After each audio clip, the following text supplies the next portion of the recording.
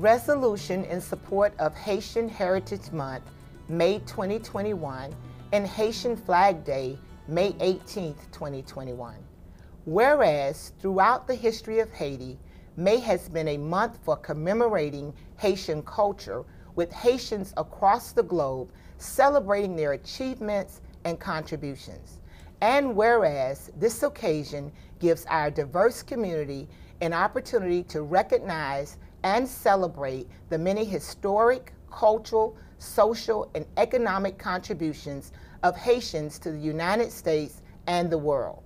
And whereas promoting understanding and harmony among people is important to communities and their institutions.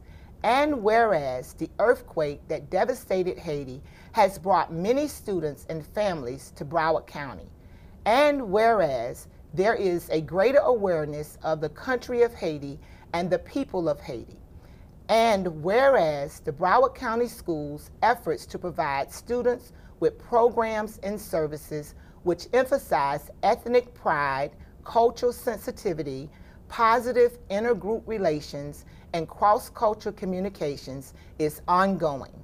And whereas the Haitian people are heirs to the magnificent and rich heritage which they have shared with others here in Broward County.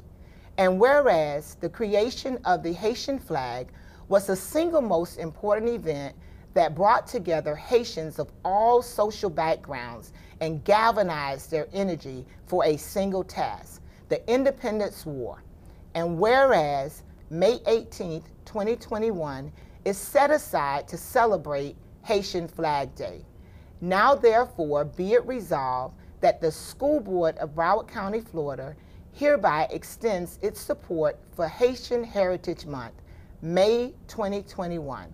Be it further resolved that the School Board of Broward County, Florida hereby extends support of Haitian Flag Day, May 18, 2021, and urges all schools, centers, and department within its jurisdiction to support this community-wide observance.